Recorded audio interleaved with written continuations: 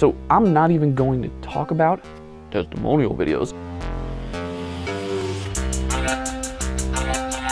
There's something else I want to cover that I see so many people challenged with, and that is simply how to be on camera, how to record videos, and just be comfortable and cool with it. Because the biggest reason we're afraid to get on camera, really actually there's two reasons. But the first one is we're afraid of people judging us. We're afraid of people judging what we say, how we look. But if you want to get good on video, you'll hear everybody say it takes practice. And yes, everything you want to be good at takes practice. But there's very few times that you hear people talk about one thing that's to make it so easy for you. And that is simply talk about what you know. If you're in the fitness industry, it is super easy to talk about so many things. If you don't know what to talk about, go online, look up magazine covers and just pull the headlines. If there's a headline in there that you know something about, like six ways to get six pack abs, and you're like, man, that's a bunch of horse then talk about that and talk about why. Talk about what you know because what you know is going to be easy, it's going to flow.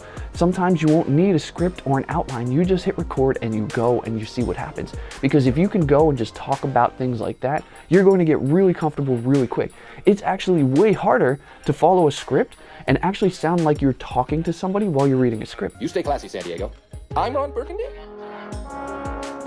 Typed a question mark on the teleprompter? If you start trying to make yourself look smart or do things that you don't know, it's gonna make you start thinking about people judging you on video. So find the things that you know and go for it. And remember, if you do what you know, you talk about what you know, and you just do it over and over, it's gonna be so much easier.